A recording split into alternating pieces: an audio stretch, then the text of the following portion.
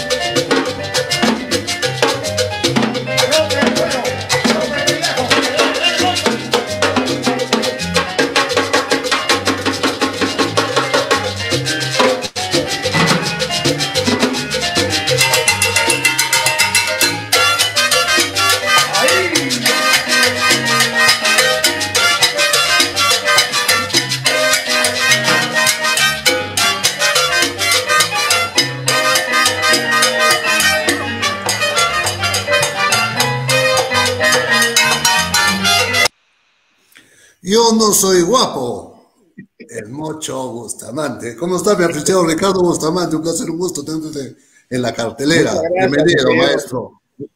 Muchas gracias, mi querido Carlos Hernando Castro, el hombre de la cartelera. Hace ya varios años, esta es la segunda invitación que me haces a tu fabuloso programa. Te agradezco mil veces por esta invitación. Aquí pues es un, no, pero, pero mucho. Es, un gusto, es un gusto tenerte en el programa porque eres, parte de la historia en la música acá en el Perú. Pero antes de entrar, muchos se preguntan, ¿no? ¿Por qué le dicen mucho? A ver, cuéntanos, cuéntanos. ¿Por qué mucho Bustamante? A ver, cuéntanos. Mira, eh, mi nombre de pila, ya saben, la, mucha gente que ya me conoce es Ricardo Bustamante Lárdiga, mi nombre de pila. Pero cuando yo armé mi orquesta, eh, antes de armar mi orquesta, perdón, cuando yo estaba trabajando con la artista del cine Amalia Aguilar, que vino acá al Perú. Amalia Aguilar, así es, Panamericana Televisión. en el Teatro Segura. ¿no? Yo era el director musical, yo era el director de la orquesta de, la, de, la, de ese teatro, de, de, la revista Perú te traigo un son y Salsa Caliente 82. No sé si usted tiene que haberte acordado. Entonces, cuando acababa la primera temporada de Perú te traigo un son, que duró como seis meses en el Teatro Segura, entonces la segunda faceta era salir de gira por el Perú con toda la compañía de Amalia Aguilar. Betty Di Roma, Carné, eh, en fin, todos los artistas que trabajamos. y cuando llegamos, nos fuimos al norte, cuando llegamos a, Trujillo, al Teatro Chimú, decía la cartelera, eh, Amalia Aguilar, la bomba rubia de Cuba, presenta la revista musical Perú te traigo un son. Y los bravos de la salsa, Ricardo Bustamante, el que habla, y Coco Lagos, que éramos los dos eh, los bongoncero y tumbador, de acompañar a ella y a todas las bailarinas que en esa época estaban en la empresa de ella. Entonces el Teatro Chimut de Trujillo, no sé si tú has llegado a conocer allá en Trujillo, en el norte, era grandazo y largo, ¿no? Reventaba de gente, pues, en, en el debut. Sí. ¿No? Y entonces cuando comienzo yo, que me toca la actuación con Amalia Aguilar en el escenario de tocarle los tambores y bailar el mambo con ella, la gente comenzó a pifiar. Disculpa, ¿cómo es eso de tocarle los tambores? Explícanos un poco mejor. Yo era el bomocero y Coco Lagos era el tambor para que bailes a la reina del mambo como, como es, porque ella vive todavía en México, Amalia Aguilar, ¿no? que es artista del cine mexicano. Ella es nacida en Cuba, nacionalizada mexicana y peruana porque se casó con un, con un, peruano, el doctor este, Raúl Veraún, que en paz descanse, ¿no? Y vivió mucho tiempo en el Perú, hace, te estoy hablando de unos cuantos años atrás, y, y procreó tres hijos, ¿no? Dos, dos, caballeros y una dama. Pero cuando pasa el tiempo, ella ya bien retorna al Perú a hacer esto, lo que te digo yo, pero yo la conocí a ella en México cuando yo me fui de gira con el maestro Rulli Rendo en el año 80. Próximamente va a estar Rulli Rendo con nosotros aquí en el programa. Saludos acá para nos estará viendo, ¿no? Mm, de repente. Eh, con el maestro Rulli Rendo, que yo le doy muchas gracias porque yo pertenecía a esa orquesta por varios años, grabé algunos discos con él del toque a toque, en fin. El toque a toque. Fue el motivo que nos llevaron a México del maestro Rulli Rendo, tremendo director de orquesta, de él aprendí, aprendí mucho, sobre todo la responsabilidad. Por eso es que ahora tú estabas preocupado por mí, porque tú sabes que yo soy muy puntual en todo mi trabajo. Claro, claro. ¿Qué, pasó? Que eh, cuando estuvimos en, en, México, yo ya había acompañado acá en el Perú a las Dolly Sisters, la bailarina de Pérez Prado. Y había acompañado. Pérez Prado. A la Tongolele. Me había acompañado, pero ellas vivían allá en México y entre, entre ellas, ese núcleo de artistas de esa categoría siempre se, se conocen, ¿no? Entonces, cuando las Dolly Sisters, yo las llamé a las Dolly Sisters después de seis años que yo no, no las veía, hasta que en, en, mi vida pensé conocer México a través del maestro Rulli Rendo, y yo llevaba el teléfono de las Dolly que ella me, me había... Algún día que llegues a, a, México, nos busca, dicho y hecho. Después de seis años, eh, que ya no, ya no las veía las Dolly, llegamos a México y me acuerdo, pues, y, del hotel donde nosotros estábamos hospedados, la, la orquesta Rulli, llamo por teléfono y me contesta una voz. Así, los mexicanos son un poquito toscos para hablar. Date cuenta en la, en el cine, la televisión, como a todo mandones, ¿no? ¿Aló, aló, señor? Sí, ¿con, ¿con quién desea hablar? Uy, madre, dije yo. Vea, señor, ¿sabe qué? Yo soy un peruano. Eh, está la, la señorita eh, Cario, Mari, Mari de, de las Dolly Sisters. No, no, no se encuentra acá. Ah, disculpe, porque yo soy músico, acabo de llegar acá a México y quería verlas para saludarlas. Si usted las quiere saludar, llámela a este teléfono y me da otro teléfono. Y perdón, ¿con quién tengo el gusto de hablar? Con, con Chucho, Chucho, con el de los, era esposo de, de, de, los Panchos, ¿ya? Chucho, ¿cómo se llama? Chucho Navarro. Ya, Chucho Navarro, Ya él era el marido de la quien yo estaba preguntando, pero ya estaban separados, yo que voy a saber, pues, claro, no, y, él bien caballero me dio el número para ubicarla, ¿ya? Bueno, de los panchos dije, bueno, llámame y me contesta otra voz. Aló, sí, este, disculpe, me, me han dado usted el número para ubicar a la señora. Ah, sí, un momentito, ¿de parte de quién? Dígale, de, de, Bustamante, de Perú, dígale nomás así. Ya, oiga, Meche, Meche, que te están llamando acá del Perú. ¿Quién? Bustamante. ¿Bustamante? Hola, negro, ¿dónde está? No, estoy aquí en México, le digo, sino que mira, después de cuántos años volvemos a escucharnos, aunque sea por teléfono, negro, ¿cómo? Oye, mira, llama a la otra hermana, porque ellas quedaron felices y contentas de ver cómo yo trabajé con ellas, ¿no? Durante todas las dos años casi estuve con ellas. Pero, pero, pero ellas te bautizaron como el mocho. No, no, acá viene esta vaina. Ah, las Dolly me dicen, las me dicen, ¿dónde estás hospedado para ir a verte, para recogerte? y veo la llave del hotel, el Hotel Valderas. El Hotel Valderas. Si Rulli de repente me corrige, pues, esto está hablando del año 80, te estoy hablando, pues. Entonces, espérate que ahorita vamos por ti. Este, y yo, pues, y los músicos, tú sabes cómo somos los músicos. Somos, eh, no que, que, oye, van a venir a recogerme las bailarinas de Pérez Prado, la fuera, ya que la ¿Qué tal, loco? Fui, mira, Rulli, que la Dolly hiciste.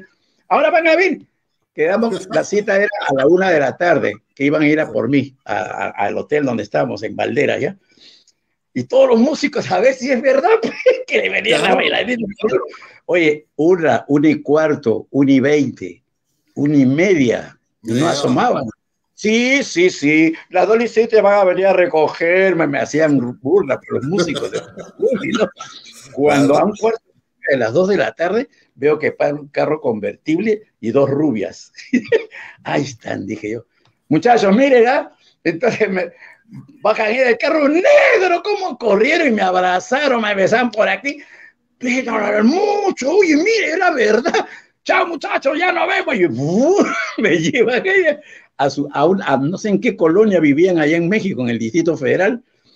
Y yo no sabía lo que iba a pasar, este, este Carlos. Cuando y era una sorpresa que se demoraron porque me estaban preparando una sorpresa. Cuando de repente suena el timbre, entra María Victoria. Ah, yo te conozco, pues, artista de cine mexicano como si hubiera nacido en México. Al rato, ¡bum! llegó la, la Tongolele y se acordó, claro. Ellas le recomendaron a Amalia Aguilar que ya venía, tenía programado venir al Perú a, a montar esas dos revistas y a quedarse tiempo acá en el Perú a vivir. Pues. Entonces llegaba otro artista y, y tú eras del cine de la época de ella, pues. Y yo, yo estoy soñando, decía yo. Si no es por Ruiz, yo no sueño en, vida, decía entre mí. oye, me quedé feliz y contento. Y muchos artistas conocí. Cuando ya me dice, dame un teléfono, ¿cómo te ubico? Porque yo en cualquier momento yo viajo a Perú y si estás en Perú, pues tú vas a trabajar conmigo. Dicho y hecho. Eh, pasó el tiempo, se acabó la gira con el maestro Rulli nos regresamos a Perú, ya cada uno agarró su rumbo, porque había otra gira de retorno, pero vino el terremoto y se suspendió, ¿te acuerdas del terremoto que hubo en, México? Ya no se siguió esa gira, en fin, ya nos, nos quedamos. Cuando ya en ese tiempo, pues ya había pasado algunos años y formé mi orquesta Calidad Latina de salsa. Pero yo ahora, no, perdón, todavía no había formado la orquesta. Viene Amalia, me contacta y comienzo a trabajar con ella. Y cuando fuimos a Trujillo, ahora sí, estamos en Trujillo, cuando salgo yo a tocar el, el bongo ella, a, Amalia y bailar el mambo en el escenario, la gente comenzó a silbar, pues. Y ella dice, ¿por qué silba? ¿Qué? ¿No gusta el número? Y seguíamos bailando el mambo. No, le digo, que me acabo de enterar que acá en Trujillo hay un torero que se llama Ricardo Bustamante y yo también soy Ricardo Bustamante, pues yo no soy el torero. Bailando le hablaba, ah, sí, ya, ¡rum! paró ella, ¿qué pasa? Ese no es Ricardo Bustamante, ese no es, ese no es. Y era un torero, Ricardo Bustamante, que inclusive toreaba en la Plaza de Hacho. Ya había el, hermano de él, Hugo Bustamante, mira cómo me acuerdo, ¿ya? Entonces, ese, un momento, me acabo de enterar, dijo Amalia Aguilar, que acá en Trujillo hay un torero que se llama Ricardo Bustamante, pero este señor que ustedes lo ven acá en el escenario conmigo, también se llama Ricardo Bustamante y es el director musical de mi orquesta y él es peruano como usted y se merece un aplauso para Ricardo Bustamante, el músico. La gente, pues, a, la, a la fuerza aplaudieron. Yo dije, y seguíamos la gira, ¿no? Trujillo, Chiclayo, hasta Piure, en fin. Yo el día siguiente, en la, en la, estábamos en Chiclayo y decía, y yo voy a vivir bajo la sombra del torero. Yo me cambio el nombre, dije así, pero el nombre artístico, pues yo estaba con mi nombre de pila Ricardo Bustamante, ¿no? Claro, pues, claro. Un papel, un lápiz en el hotel, y dije, a ver, a ver, vamos a ver. Eh, Ricky Bustamante. no, va, no suena. Ricky Bustamante, medio maricón, no, tampoco suena así. Y no sé cómo me miro la mano. Mocho Bustamante. Mocho enséñale, Bustamante. enséñales tu mano al público, tu mano. Ahí está, ahí está, ahí, ahí está, ahí está, ahí está. Ahí está. Ese es, ese es el, el, ¿cómo se llama? si algún otro quiere ser un Mocho Bustamante y ser no un músico, tiene que ponerse el dedo para que sea original. Oye, oye, Mocho, oye, Mocho Bustamante, regresando, un poco, regresando un poco en el tiempo, eh, cuando estabas jovencito, pequeño, bailabas con ah. tu hermano. Tu papá creo que era, era, era quería, no quería que, que ser su manager, ¿no? ¿Cómo, cómo? Eh, tu papá no quería que ustedes bailen, ¿no? No, no, no. Mira, ve, ¿cómo se inició esto del baile? Por ahí tiene que haber un video donde estamos bailando el mambo, nosotros tres somos los Ricardo, el que habla el mayor Nelson y mi hermano Néstor, el tercero. Yo tenía pues 15 años, creo, 15, el otro 14, el otro chiquillos. Sí, Era pues. la época, la época del rock y del mambo. Estaba de moda Billy Hall y su cometa y Pérez Prado que sonaba. Pues, ¿no? Pérez Prado la televisión no existía, ¿ya? Uh -huh. Entonces, eh, nosotros, yo vivía en, en, Chota, en la cuadra 13 de Chota, a la espalda de la prefectura, y a la vuelta de la esquina de la avenida España había un cine, si te acuerdas, Roxy. Claro, cine Roxy, Roxy. Okay. que ahora creo que es de Gloria a Dios. Entonces, nosotros ahí daban puras películas mexicanas, y nosotros muchachos, los tres, palomía sano, ¿no? Nos metíamos al cine al balcón, me acuerdo, a ver la película de, de Billy Hall y su cometa, de Elvis Presley, de Pérez Pérez Prado. Y entonces nosotros nos poníamos a bailar en la casa, hacían lo que hacían en la película. Entonces había la radio, eh, radio Lima, que quedaba a donde es ahora la cabaña, si te acuerdas de Dianderas, Radio Lima. Radio Lima, sí, sí. Ahí llegó la Sonora Matancera también en el año 57. Entonces, estaban haciendo el espectáculo, estaban bailando Betty Di Roma y Oscar Neira, que eran las estrellas de ese espectáculo que presentaban. Y las orquestas que se presentaban ahí en Radio Lima, eh, al costado de Radio Victoria, que ahora es la cabaña, pues, ¿no? Estaba, la primera orquesta era de Eulogio Molina, que tocaba lo que era el, el rock, lo que tocaba el Billy Hall, sus cometas. Y en la segunda parte era el mambo que tocaba el maestro Roberto Mori. ¿Te acuerdas de Roberto Mori? Claro que sí, claro que sí. Somos casi contemporáneos en, en, la, en la edad. Entonces, nosotros nos metíamos y nos sentamos a mirar, pues. Y un día, ahí había audiciones lunes, martes y miércoles. Y un día nos metimos los tres. Y cuando comienzan a tocar el mambo, el rock, vamos a subir a bailar. No, estás loco. Y si Vamos, vamos, a malograr el espectáculo. Y entre bambalinas estaba Betty Di Roma y Oscar Neira, que eran las estrellas, ¿no? Vámonos, subimos los tres, pipa, y la gente ¡ah! comenzaron a aplaudir. Y de repente termina el baile y la policía nos comienza a corretear y nos fuimos por el parque, pues, del parque de la exposición. Hasta que nos chaparon del cuello los tres.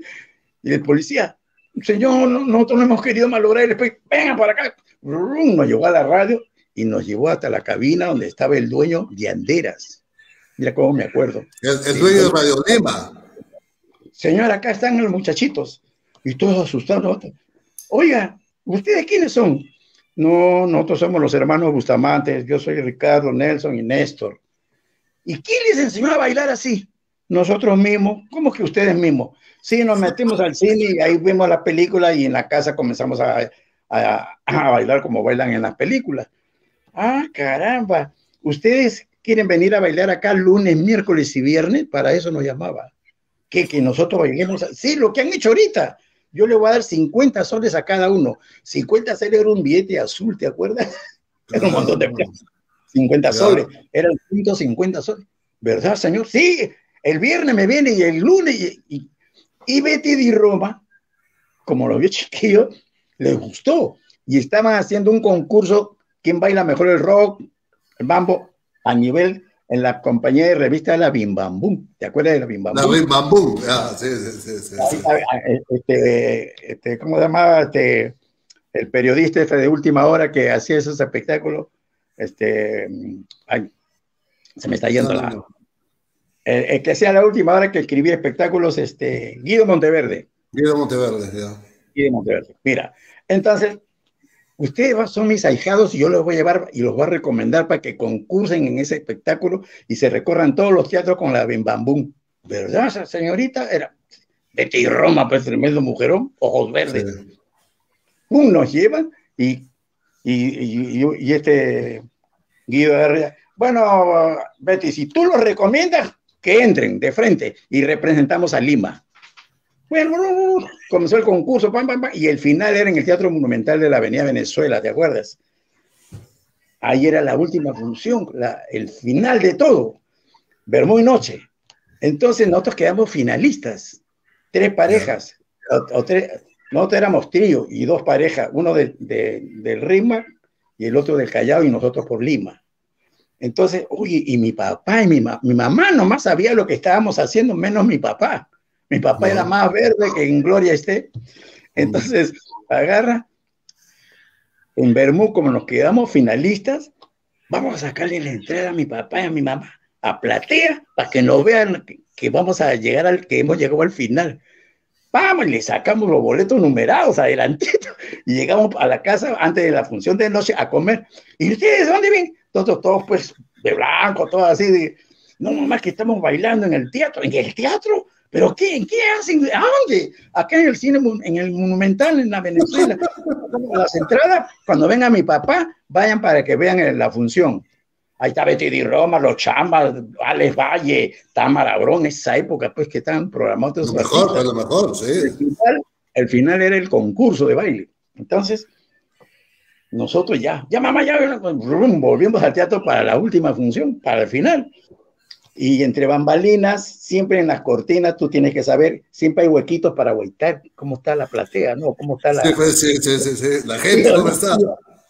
Mucha gente no lo sabe de repente, solo con los que estamos en este medio. Entonces, como no sé cuándo vamos, uy, está mi mamá y mi papá, mira, ahí están, ahí están. Mi papá, creo que con sus traguitos que a él le gustaban, ¿no? Entonces, entonces vamos acá, así practicando porque tenemos que ganar esto, si no mi papá nos va a pegar, que no lo que estamos haciendo.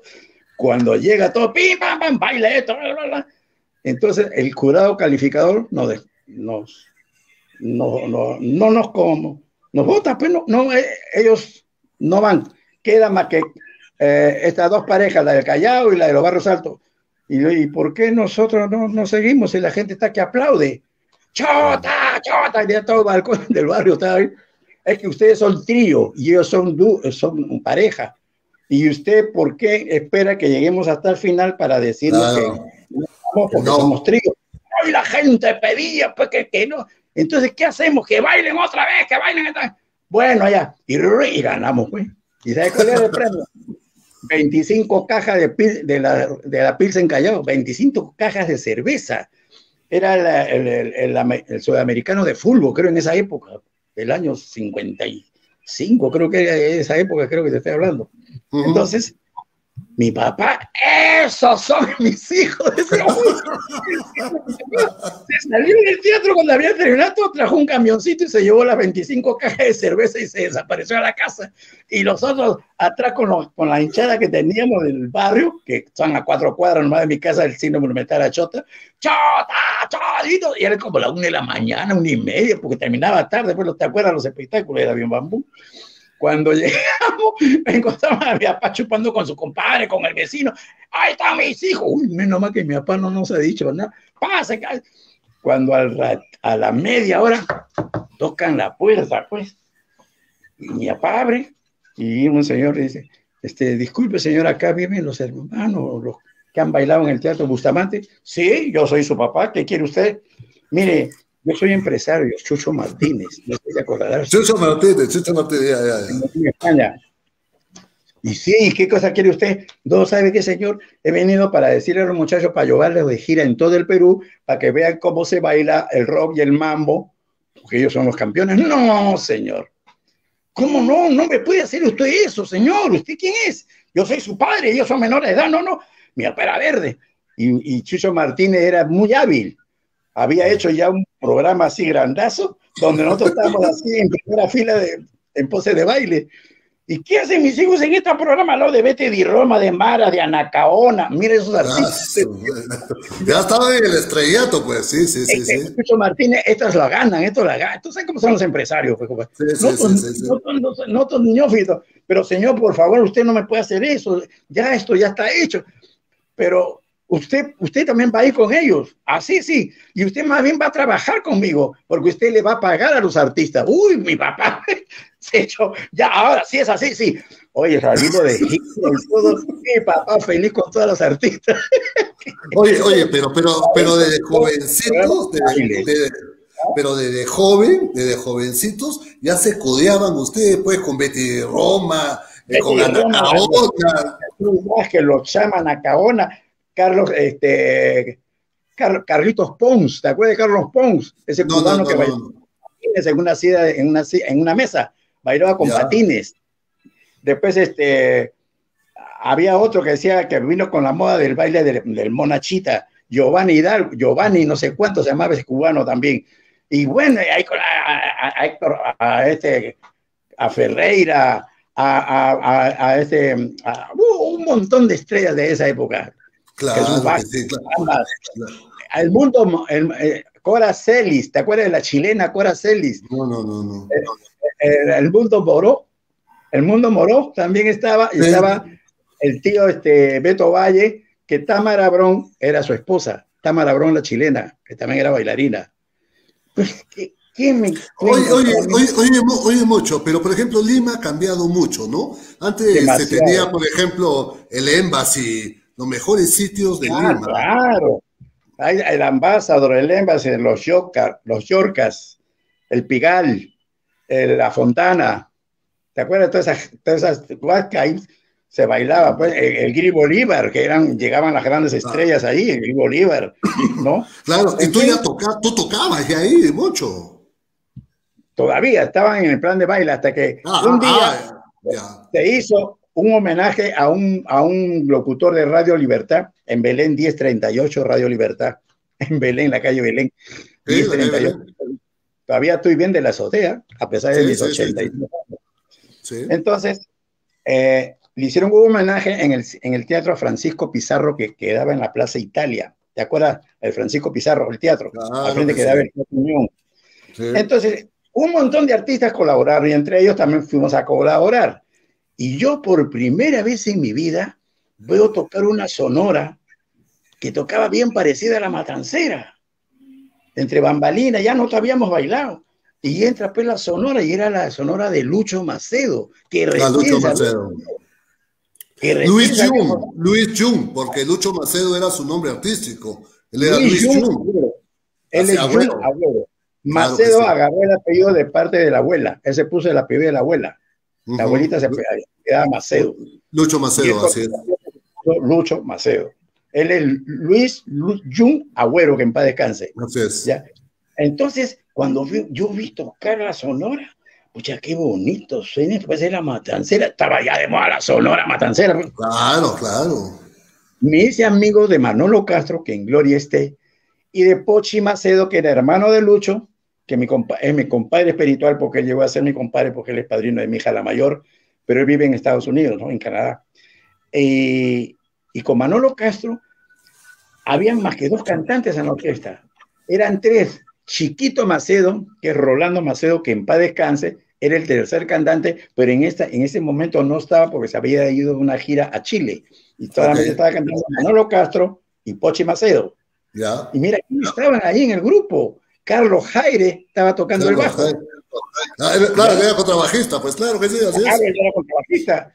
Y yo recién conocía pues a esa gente, ¿no? Carlos Jaire en el bajo, eh, Humberto Salas en la trompeta, Felipe Ubius y el otro Cholo Polo. El tercer, eran tres trompetas. En, la, en el ritmo estaba Nico Estrada, que se llama Germán Estrada, que en gloria esté, era el bomoncero, y el tumbador, el pareja de ritmo era Cocolagos, ¿ya? Y Lucho Macedo en el piano. Esa era la sonora de Lucho. Entonces, como me hice amigo de Pochi, oye, compadrito, qué bonito baila. ¿Por qué no vas a la radio que nosotros tocamos los lunes, miércoles y viernes? ¿A qué radio? A Radio América. ¿Y a dónde quieres esa radio? En Ocoña, pues me dicen, en la vuelta de convenciones, que yo te acuerdo en Ocoña, ahí quedaba Radio América. no existía la televisión, no existía el canal, nada.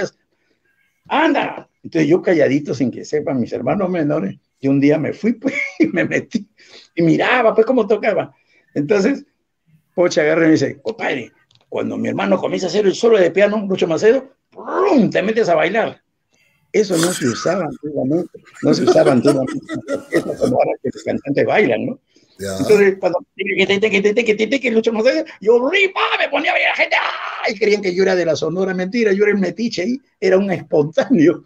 Y Lucho Macedo le gustó pues, porque la gente aplaudía, ¿ya? Claro, oye, muchachito, que bien bailan, vete, vete. Y entonces ya iba, ya me hice amigo de ellos, de Estrada, de Cocolao, tremendo músico. Después cambiaba tarjeta de, Carlos Picklin, ¿te acuerdas de Carlos Picklin? Carlos Picklin, Carlos Picklin. Los indios estaban allá, los indios aguarucos estaban ahí, los dávalos, los dávalos en esa radio. Diga todo lo que, así que Carlos Picklin. Estrellas, pues, estrellas iban. Estaba Pantuflas, hacía su programa cómico ahí, Pantuflas. Carlos Soneto. Carlos Soneto. Claro, mira, qué época te estoy hablando, por, por, mucha gente dirá, el mocho tan viejo es. Soy viejo, pero con orgullo. Dos gracias. cosa, ahí te vas enganchando tú ya, ¿no? Ahí ya me voy subiendo. Entonces, ¿qué pasó? ¿Cómo fue la entrada con Lucho Macedo? Yo era el bailarín espontáneo y cargaba los instrumentos. Y Macedo, que en paz descanse, no me daba ni para el pasaje. Pero yo ahí, ya me gustaba la música. Ya iba dejando el baile hasta que me separé de mis hermanos y ya me, pegaba a Lucho Macedo. Y mis hermanos siguieron bailando, ¿ah? Nelson y Néstor. Cuando, ¿qué pasó? Un día Macedo iba a hacer nuevos uniformes, sus telas para hacerse eternos. A ver, Salas, su corte de tela, fulano, su corte de tela, y le sobraba uno, un corte de tela. ¿Eso era para ti, fue? Que también tu, uniforme o tu, tu terno. Y me uniformaron como... Entonces, agarra, toca. Un segundo, ya que voy a abrir la puerta, un segundo. ¿eh? A ver, unos, unos segundos para los amigos que nos están viendo en todo el mundo. Aprovecho el intermedio nos ha llegado el libro de Orlando Rincones, Ayacucho y la independencia del Perú. Próximamente va a estar presentando el libro en el programa. Vamos con la bienvenida que le dan a...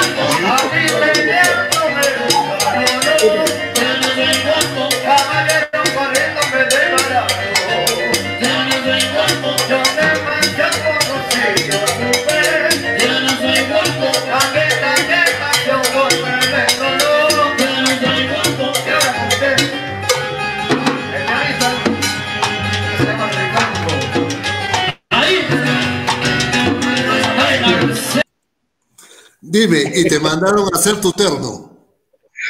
ya, ya, ya estaba uniformado. Entonces, ¿qué pasaba? Que yo me quedaba mirando así, con la boca abierta, cómo tocaba Nico Estrada, Germán Estrada, su nombre artístico es Nico, cómo tocaba el bongo. Y a Coco Laos, cómo tocaba la tumba. Entonces, Poche me decía, como hermano chiquito, Macedo no está porque está, está de gira en Chile, tú me enseñó a tocar el güiro y ya coro. Entonces éramos tres adelante. Yo haciendo, tocando guiro y haciendo coro, Poche y, Manolo Castro. Así, dando. Entonces yo era, aparte de eso, yo era el utilero de la Sonora de Lucho. Cargaba los instrumentos, era. Así es, pues todo empieza así. ¿No? Entonces yo mirando. Entonces cuando iban a los ensayos, a veces se ponían a jugar cartas ahí y tiraba el bongo Estrada le decía Estrada, préstame tu bongo, agárralo, pues. Y yo más o menos chapaleaba de ver cómo tocaba él. sin saber lo que iba a suceder conmigo a través del tiempo, ¿no? Cuando un día, em, en el 57 llega la Sonora Matancera por primera vez al Perú, a Radio Lima, que era Radio Centro, ahí en la cabaña, y a alternar con Lucho Macedo. El año 1900, debutó el 28 de julio de 1957 por primera vez en el Perú, la Sonora, Matancera, con y Celio González. Celio, González era el, vocalista eh, eh, titular estable de la Sonora. Carlos Argentino grababa con la Sonora, pero no pertenecía a la Sonora, ¿no? Pero siempre iban de gira cuando lo contrataban. y acá viene otra, otra, otra nota sobre mi dedo. Este dedo tiene mucho que hablar. Claro, te ha hecho famoso. Estrada, viendo, observando bien a los integrantes de la matancera, se conoció por primera vez a Celio González y le faltaban dedos. Y Estrada agarra y le dice, oye Lucho, ¿qué? Mira, ese Celio González, el cantante de la matancera, no tiene dedos. Tú también tienes tu Celio González acá, porque a él me levanta la mano porque a él le falta dedos. Entonces los músicos ya no me decían Ricardo, sino, ni mucho, me decían Celio. Celio. Oye, Celio, Celio, ya. Ay, ay, ay, te bautizaron como Celio. Sí, fue porque me. Entonces, bueno, son anécdotas que muchos no lo saben, hasta tú que recién te estás enterando. Ahí conociste, ahí conociste a la gente de la Sonora, la Sonora Matancera por primera vez en el Perú. Claro, alternamos en la Plaza de Hacho y... ¿Y, qué hacías tú entre la Sonora metido? Yo con Lucho Macedo, solamente mi ruido haciendo coro, bailando, y porque los tromes eran pues Coco Lago, Nico Estrada, ese era el ritmo, ¿no? Pero, ahí, ahí empiezas a, hacerte conocido con la gente de la Sonora Matancera. Claro, porque estábamos alternando con, con, la primera y única sonora en esa época de Lucho Macedo. Y Macedo era Lucho Macedo, pues hermano. Claro que sí, claro que sí. Entonces, eh, cuando pasa el tiempo, ¿tú te acuerdas de los últimos carnavales que, que habían en el Perú, en Lima? Que eran cuatro días. No, no. Se hacían cuatro días de carnaval. ¿Ya? Y Bacedo pues agarraba los bailes en Barranco, incluir en el Ministerio de Hacienda, en el Círculo Esportivo Italiano. Mira, yo recién conocía todos esos sitios donde Bacedo tocaba, ¿ya? Este, ¿qué más? El Círculo Esportivo Italiano. En fin. Los mejores sitios de Lima, así es. Los mejores sitios. Entonces, yo que me iba a imaginar que, que yo iba a tocar, pues, eh, en, esos carnavales, cuando Estrada va y toca la puerta de mi casa, me dice, muchachito, ¿qué estás haciendo ahora? ¿Qué vas a hacer ahora en carnavales? Nada, jugar aquí en mi barro echando agua. No, me dice, ven, toma, me da su, su una guarachera, una, que usaba unos uniformes lucho, una guarachera, su bongo y la campana. ¿Y esto para qué me da? Tú vas, vas mañana, le dice, vas mañana y, y, para que toques con él el año, los carnavales. No, y yo de bogoncero, ni siquiera tocando vino, bongo, ¿ya? Pues yo más o menos chapaleaba, ¿ya? Y dile nomás, y Macedo en esa época vivía pues en, en, en, Balconcillo, en la Victoria, en Balconcillo. Cuando todos los de la estaban abajo esperando para irnos a, al, al Círculo Deportivo Italiano, no sé dónde era el debut, y yo llego pues, todo flaquito, con una, con una blusaza, porque Estrada era gordo, y yo con el bongo. Oye, ¿tú qué haces acá? Me dijeron los, músicos. No, que el señor Estrada me ha mandado. Uy, no, eh, no te dije, compadre, ¿qué pasa? Y salía Lucho por el balcón. No le dije, míreme, ¿a quién ha mandado de reemplazo Estrada? A un palo blanco. Yo no sabía qué cosa era palo blanco. ¿Tú sabes lo que es palo blanco, no? No, no, no, no, ¿qué es palo blanco? Pablo Blanco es el que no sabe nada en la música, hace finta nada más. Ay, ay, ay, ay, Okay. Ahí de Palo Blanco, yo no sabía qué cosa era Palo Blanco, entonces, ya, compadre, esta hora, ¿dónde voy a buscar? Vamos nomás, como ¿qué vamos a hacer? me lleva, oye, compadre, comienza a tocar, a chapalear, y Pochi Macedo, compadrito, me dice, tranquilo, no, se, no le haga caso a ellos, toque así más o menos, hágase la campana, usted ya tiene condiciones, me dice, si toca bien el Wii, también va a tocar bien la campana, siga nomás. Oye, hermano, eran en la noche, al día siguiente matiné, porque se tocaba en Barranco, en matiné, después en Bermuda, después en la madrugada, Y cuatro días seguidos yo se me rompieron los dedos, todo el bongo todo ensangrentado, con palo comencé a terminar. Terminaron los cuatro días. Pero los, directores en esa época no pagaban ahí mismo. Bueno, muchachos, se acabó ya todos los carnavales, vayan el lunes a mi casa a cobrar. Tú también, muchachito, vas, ¿ah? Me dijo así. Ah, ya, pues. Todos, pues, los músicos ahí en las salas, Lucho adentro en su oficina, pues, ¿no? Para pagarle a cada, todos salían, pues, ¿ya? Y yo era el último. A ver, muchachos, pasa. Y yo entro, pues, a su, a su, a su oficina, a su escritorio, y habían cerros de billetes. Billetes de 500, de 100, de 50, de 10, de 5 soles. ¿Qué tanta plata hay acá? Entonces Maceo comienza, a ver, un, dos, tres, cuatro, dos mil. Uno, dos, tres, cuatro, dos mil. Estará contando su plata, pues dije yo, tres mil, cuatro mil. Ya, eso es tuyo. Cuatro mil soles por los cuatro días carnaval. Tanta plata. Así ganan los músicos. Yo no sabía, pues. ¿Verdad, señor? Sí, ya. Bueno, asustado yo. Entonces ya, pues, se lo, mamá, mira, ¿qué, ¿qué hay? ¿De dónde sacaba esta plata? No, mamá, el señor Macedo. Entonces, cuando pasan dos días y mamá Macedo me busca a mi casa, allá Chota. Está, acá vive el muchachito ese que... Ah, sí. ¿Sabes? Mi hermano estaba más chico, mis otros hermanos. Oye, Ricardo, te busca un señor Macedo. Mamá, el señor Macedo de repente me da mucha plata y, yo ya... Para que le devuelva.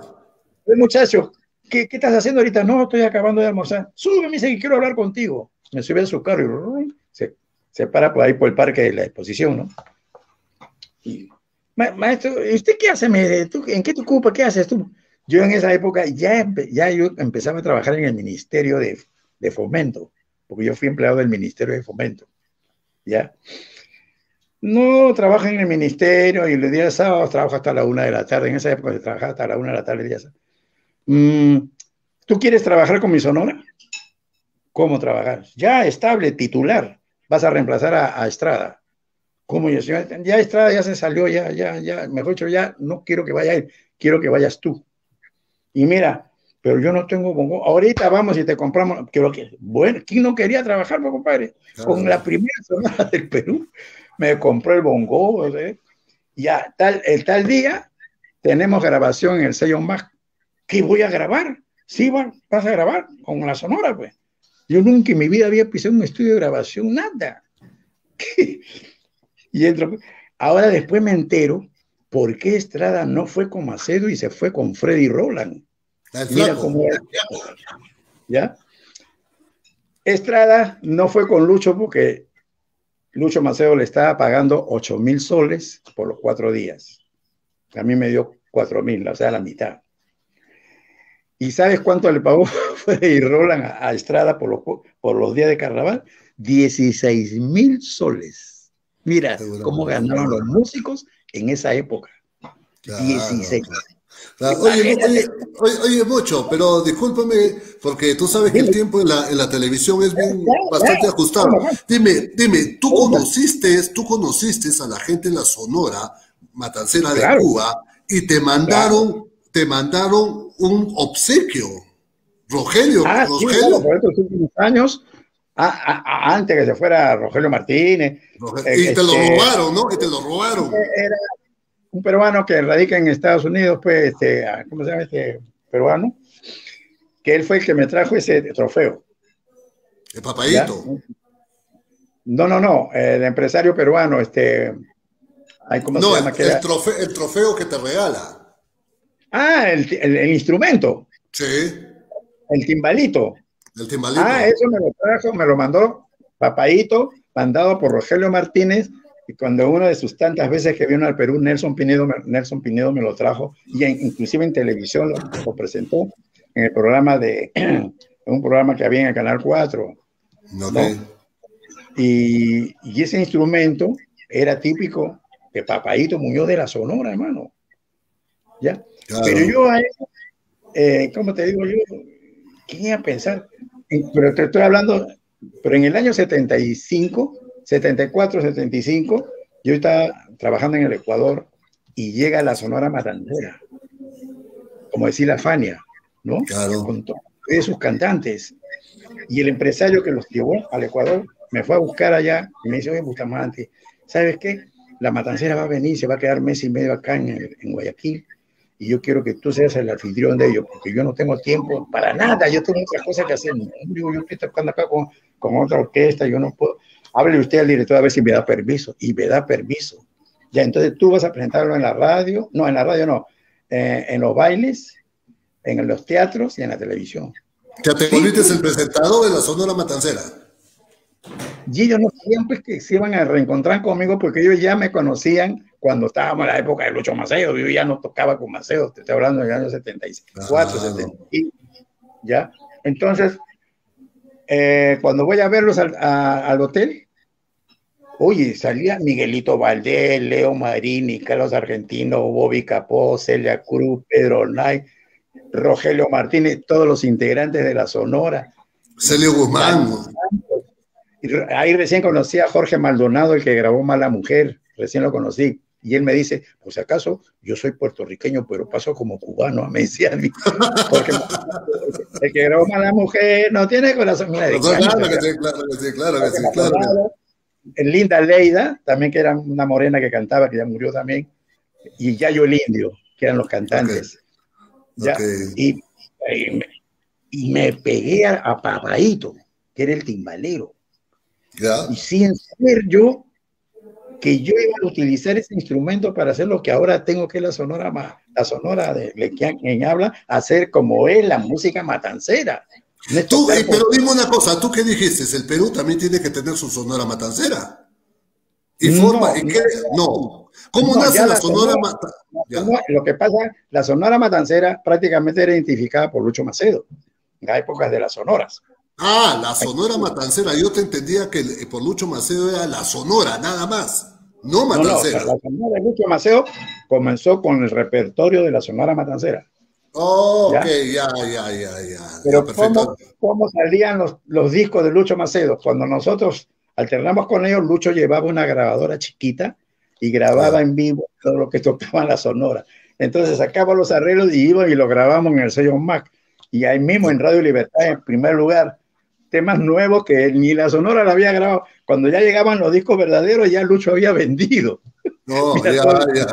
Ok, Oye, oye, mucho Bustamante, tú estás de aniversario también, tu Sonora Matancera del Perú. Claro, he cumplido 36 años que fundé la orquesta en dos etapas. La primera etapa fue salsa dura con 15 músicos. Y la segunda etapa, nueve músicos, como, como es el, el, el, lo que es la Sonora Matancera, son nueve nada más ¿Por qué? Porque en la época que yo tenía la, orquesta grande, era la época de Fujimori, venían los paquetazos y no se podía mantener un grupo tan grande que a veces yo hasta de mi bolsillo tenía que pagarle a los músicos para quedar bien.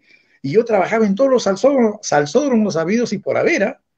pero yo sí estaba en, un círculo vicioso porque nunca hacía un, baile particular, un matrimonio, un bautizo, nada. Tú eras mete salsa, salsódromo, salsódromo, salsódromo y salsódromo. Oye, oye, oye, Mocho, pero tú publiqué una fotografía tuya, tú elegantemente vestido con tus zapatos blancos, tu pantalón blanco, tu camisa que hace juego rojo con blanco y tu sombrero. El mocho Bustamante, la elegancia del mocho. ¿Qué ¿No? cosa lo que te han dicho?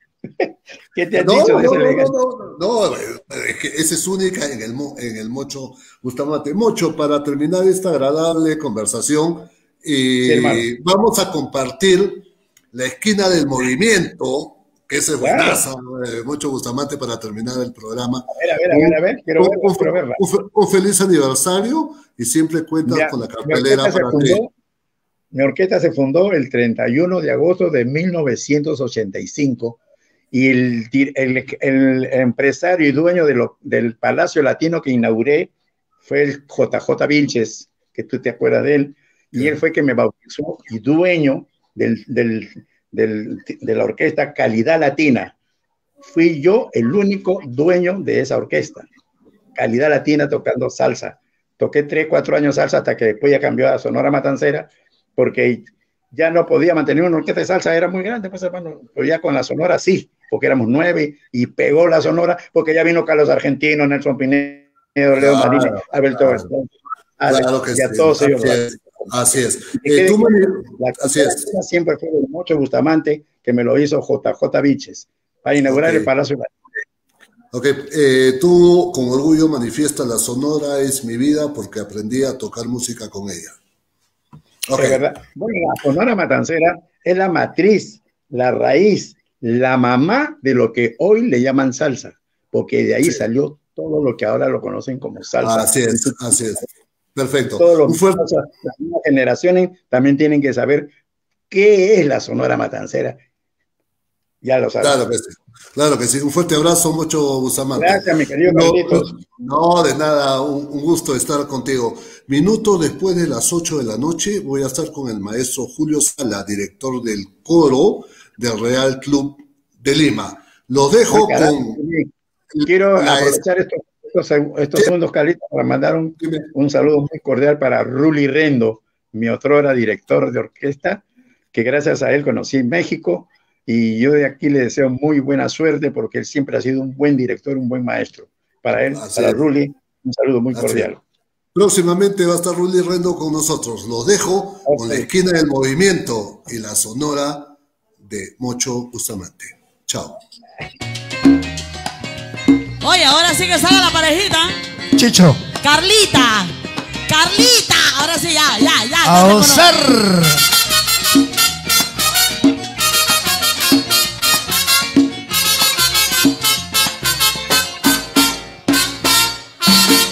De la calle de La Habana, todos tienen que decir, todos tienen que decir, pero de muy buena gana como si esto fuera poco, es la nota del momento. El comentario que tiene la esquina del movimiento.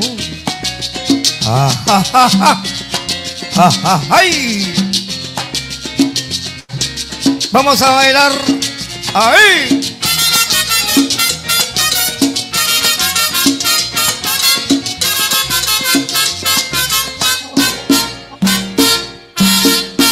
La calle de La Pana, todos tienen que decir, todos tienen que decir, pero de muy buena gana, como si esto fuera poco, es la nota del momento, el comentario que tiene la esquina del movimiento. ¿Cuál será, cuál será la esquina del movimiento? El otro día pichó a un pollito caminando y un viejo que había mirando de pronto se desmayó. ¿Cuál será, cuál será la esquina del movimiento? Caballero que caliente la esquina del movimiento. ¿Cuál será, cuál será la esquina del movimiento?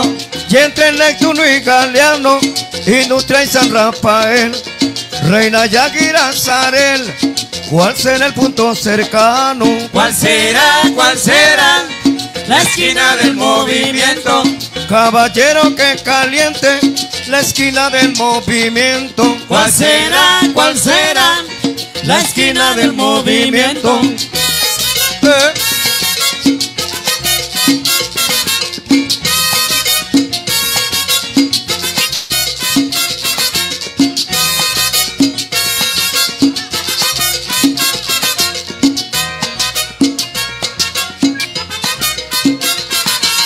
¿Cuál será, cuál será la esquina del movimiento? Entre Neptuno y Galeano, Industria y San Rafael, Reina Yaguira Zarel, ¿cuál será el punto cercano? ¿Cuál será, cuál será la esquina del movimiento? Caballero que caliente la esquina del movimiento. ¿Cuál será, cuál será la esquina del movimiento? Y ahora, el pianista, que se llama Ricardo.